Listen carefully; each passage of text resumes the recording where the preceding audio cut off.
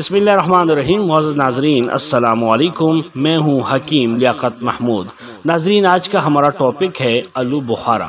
गर्मियों के दिन हैं, गर्मियों के मौसम में आलू बुखारा आपको हर तरफ़ ठेलों पर नज़र आएगा।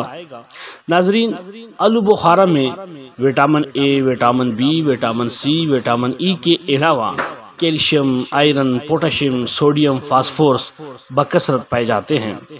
अगर हम आलू बुखारे के हैरत अंगेज तिबी फ़वाद की बात करें तो यकीन जानिए कि आलू बुखारा कब्ज कुशा है। आलू बुखारा खून को साफ़ करता है और खून की कमी को दूर करता है।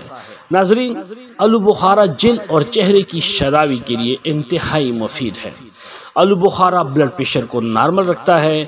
आलू बुखारा कैंसर के मरीज़ के लिए बहुत ज़्यादा फ़ायदेमंद होता है। आलू बुखारा जिसम से फासद मादों का अखराज करता है। आलू बुखारा भूख को बढ़ाता है आलू बुखारा दिल की धड़कन को मामूल पे लाता है। आलू बुखारा दिमाग को ताकत देकर दिमागी कमज़ोरी को दूर करता है।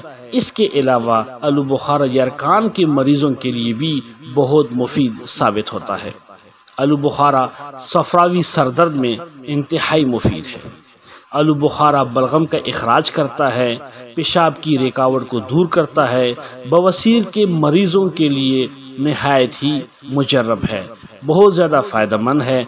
आलू बुखारा प्यास बुझाता है, गैस को खारिज करता है, जिगर को ताकत देता है।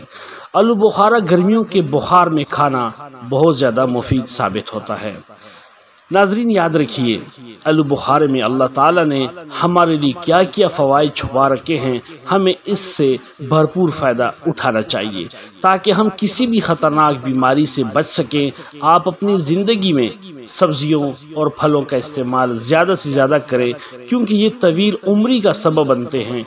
अल्लाह ताला हम सबको सेहत और तंदरुस्ती अता फरमाए।